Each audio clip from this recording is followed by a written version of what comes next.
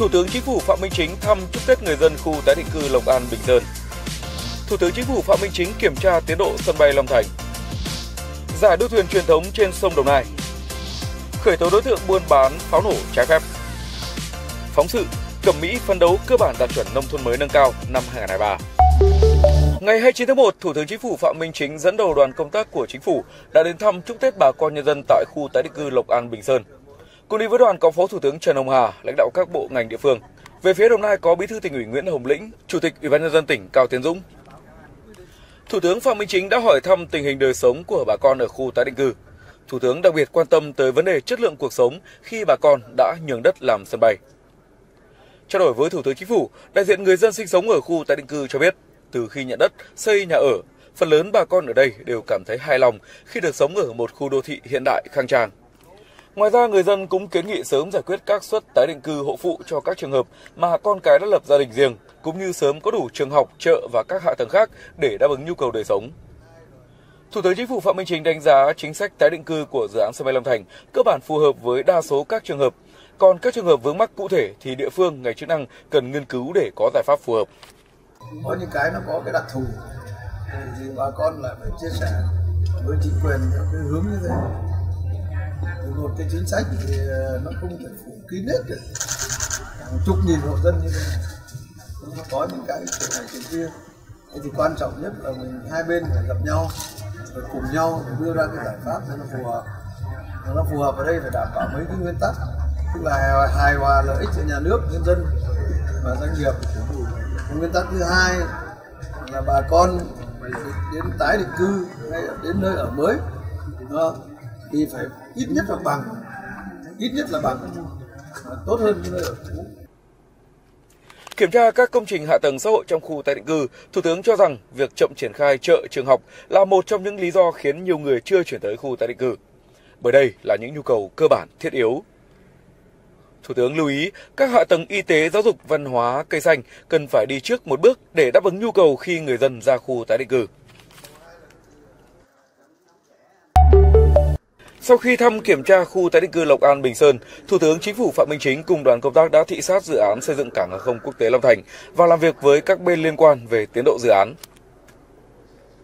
Báo cáo với Thủ tướng và đoàn công tác, Chủ tịch Ủy ban nhân dân tỉnh Cao Tiến Dũng cho biết, tỉnh đã bàn giao cho Tổng công ty Cảng không Việt Nam ACV hơn 97% trong diện tích 2.532 ha của giai đoạn 1 dự án.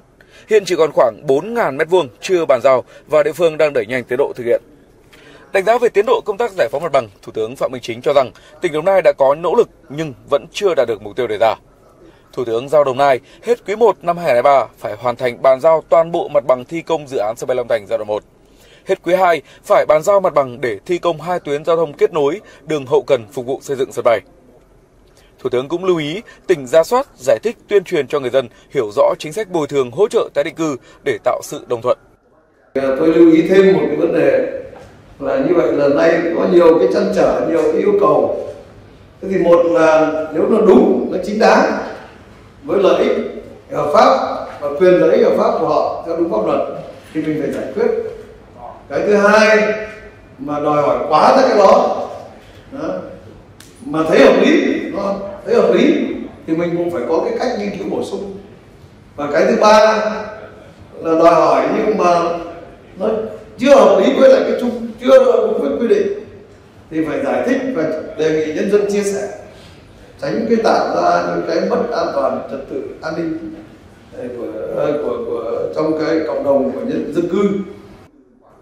Về tiến độ các gói thầu xây dựng sân bay Long Thành, Bộ Giao thông Vận tải cho biết dự án được chia thành 4 dự án thành phần, trong đó xây dựng đài kiểm soát không lưu cơ bản đảm bảo tiến độ, xây dựng nhà ga hành khách đã hoàn thành thi công 100% móng cọc nhà ga, còn san lớp nền đạt gần 40%.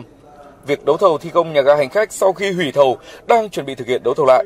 Hạng mục đường cất hạ cánh, đường lăn, sân đỗ máy bay, giao thông kết nối các hạng mục công trình phụ trợ, khu bảo trì đang được triển khai nhưng chậm về tiến độ các công trình trong sân bay, Thủ tướng Phạm Minh Chính nhấn mạnh dự án thành phần số 2 và số 3 có ý nghĩa quyết định đã được bố trí ngân sách.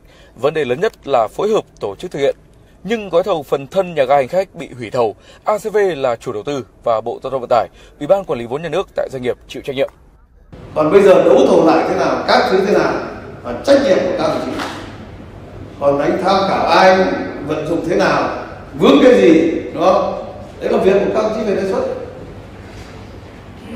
Tôi đề nghị nó dưới nó sòng phẳng đấy và không nói nhiều. Nữa bàn đi bàn lại nhiều. Nữa không cái việc của anh anh đã giao anh đã nhận đã hứa là phải làm đã cam kết là phải thực hiện. Thủ tướng Chính phủ cũng yêu cầu lập tổ công tác của Chính phủ để đôn đốc kiểm tra, khớp nối các công việc, giao Phó Thủ tướng Trần Hồng Hà làm tổ trưởng, thành viên là các bộ trưởng, thủ trưởng cơ quan, địa phương liên quan. Thủ tướng nhấn mạnh các bộ ngành địa phương, đơn vị, nhất là người đứng đầu phải thực hiện đúng theo chức năng, nhiệm vụ, kiểm điểm, chịu trách nhiệm về phần việc của mình và khắc phục những hạn chế yếu kém để đạt mục tiêu đề ra.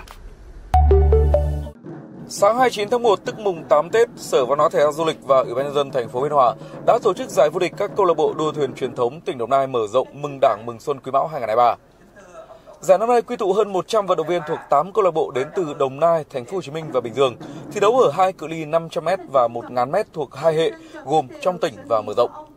Kết quả đội La Ngà của huyện Định Quán đã vô địch cả hai cự ly 500 và 1000m thuộc hệ trong tỉnh. Còn ở hệ mở rộng, đội Thanh Đa Thành phố Hồ Chí Minh giành giải nhất cự ly 500m và đội Thạnh Phước Tân Uyên Bình Dương chiến thắng ở cự ly 1000m. Giải đua thuyền trên sông Đồng Nai đã có lịch sử lâu đời, lần đầu tiên tổ chức vào năm 1832 và được duy trì tổ chức đến nay đã được 191 năm. Giải đua thuyền truyền thống nhằm bảo tồn và phát huy giá trị văn hóa tinh thần của nhân dân và nét văn hóa truyền thống tốt đẹp của dân tộc, phát triển phong trào tập luyện môn đua thuyền. Ngày 29 tháng 1, cơ quan cảnh sát điều tra công an huyện Trảng Bom đã ra quyết định khởi tố bắt tạm giam đối tượng Nguyễn Bá Khoa, 37 tuổi, ngụ huyện Trảng Bom để điều tra về hành vi buôn bán pháo nổ trái phép. Trước đó thực hiện cao điểm tấn công chấn áp tội phạm đảm bảo an ninh trật tự Tết Nguyên đán Quý Mão 2023.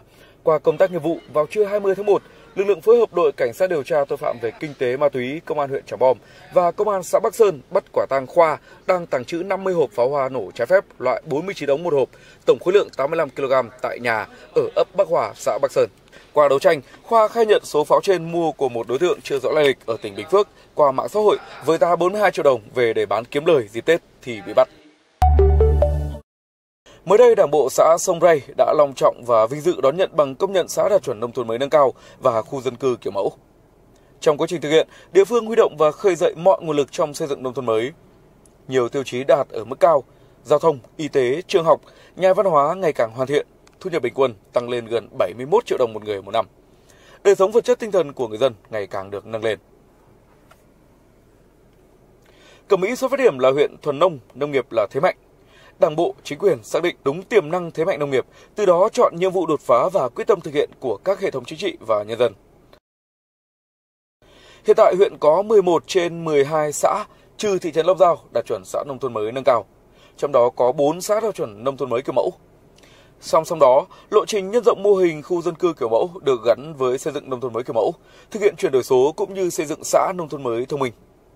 Ngoài sự hỗ trợ của cấp trên thì cũng nguồn lực của địa phương cũng như là nhân dân và các tổ chức mạnh thường quân thì sẽ tập trung mạnh vào những cái việc là thứ nhất là về cơ sở hạ tầng, thứ hai là phát triển sản xuất, thứ ba là cái môi trường và thứ tư là phát triển à, làm tốt các ờ, cái tuyến đường sáng xanh sạch đẹp và đặc biệt là tiếp tục là xây dựng thêm các khu dân cư kiểu mẫu tạo điều nhấn trên địa bàn xã. Với niềm vui, không khí trong những ngày đầu xuân năm mới, Cẩm Mỹ sẽ tiếp tục vận dụng hiệu quả sự đồng lòng chung sức của nhân dân và khai thác tiềm năng thế mạnh vốn có, từng bước xây dựng bộ mặt nông thôn mới ngày càng thay đổi, quyết tâm xây dựng quê hương giàu mạnh và nâng cao chất lượng các tiêu chí, phấn đấu hoàn thành các mục tiêu đề ra.